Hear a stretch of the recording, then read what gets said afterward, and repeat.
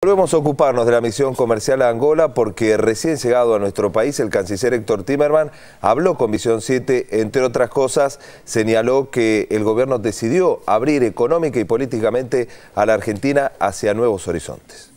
Creo que el, embajador Argüello tiene razón, eh, yo creo que hay más mala fe eh, que prejuicios, lo que hay es un interés, eh,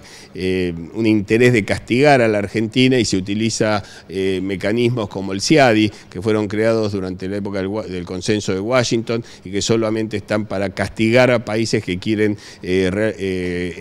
buscar un camino económico, un camino de desarrollo económico eh, por fuera de los cánones de quienes hoy eh, manejan los eh, organismos multilaterales. Y una de las armas que utilizan para, para castigar a esos países que es el CIADI. Nosotros ya hemos hecho la denuncia donde correspondía, que es en las Naciones Unidas, tanto en el, Consejo de Seguridad como en la Asamblea General. vamos a seguir reiterando que mientras la Argentina busca una salida negociada a un conflicto,